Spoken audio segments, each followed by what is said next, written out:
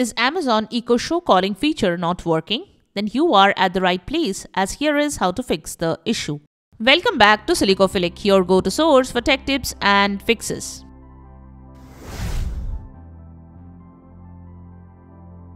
Method 1. Verify contact information. Ensure that the contact information you are trying to call is correct.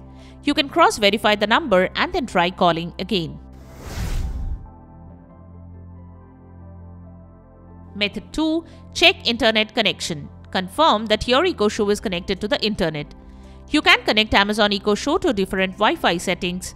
To do that, swipe down and select Settings. Then select Network. Next, select the Wi-Fi network you want to connect to. Follow as shown to connect to the Wi-Fi. Method 3. Restart your Echo Show.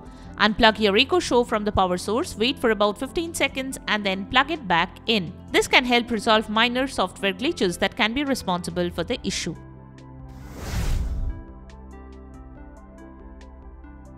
Method 4. Update Echo Show device. You can try to update software using Alexa and see if this helps fixing the issue. You can simply say Alexa check for software updates. Once the updates are installed, check if this could fix the issue.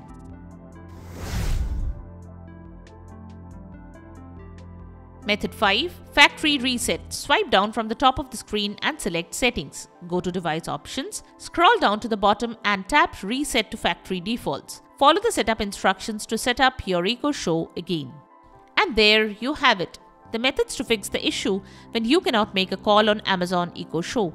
We hope the methods have worked for you. Check out the description below for links to purchase the tagged products. If you found this video helpful, don't forget to give it a thumbs up and subscribe to our channel for more tech tips and troubleshooting guides. Leave a comment and help others know about which method has solved your problem.